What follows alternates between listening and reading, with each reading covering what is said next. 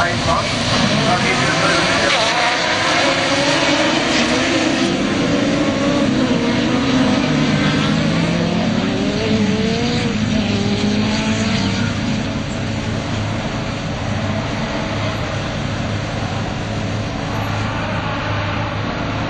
Aber Frank Meinzel, er hat natürlich von meinem Wunsch dran gehört, hat gesagt, ja Sandro, weißt du was, dir scheiß ich was. Jetzt gehe ich erst mal in Führung. Er ist jetzt auf dem Platz ein. Aber Martin Fürsten, jetzt hat einen weiteren Platz verloren, dieser Dieselkämpfer.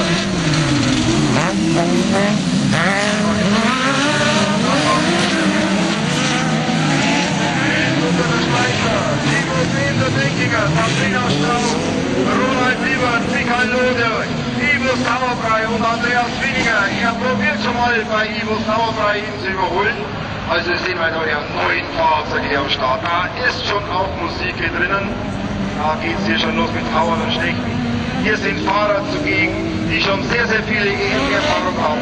Frank Meinzel hat schon EM-Rennen gewonnen. Dieter Diesel auch schon. Timo Baby auch schon. Auch in der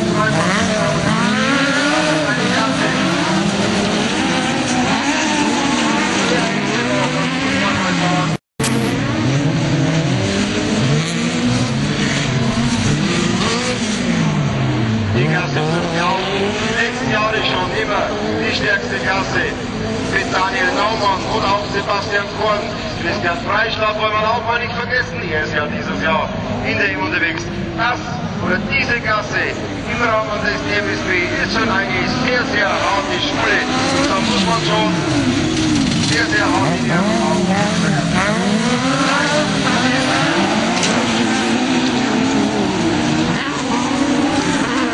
Der Schweizer Minnesota, Timo Behm auf dem fünften Platz, Strauß auf einem bis jetzt sicheren sechsten Platz.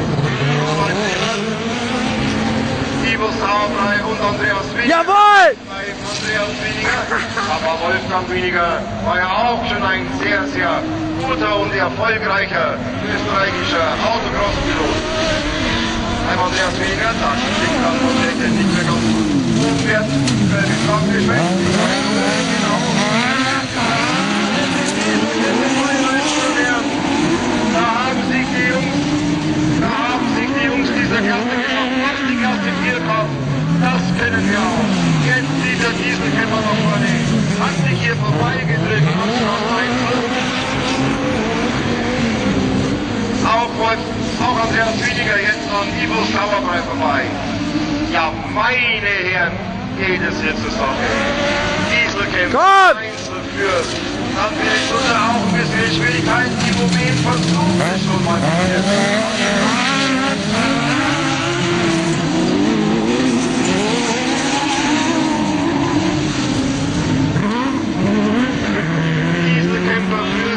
Und Behm, auch die Sabrina Strauch, auch natürlich die Suzuki Hayabusa, Motorradmotor drinnen, Frank Einzel.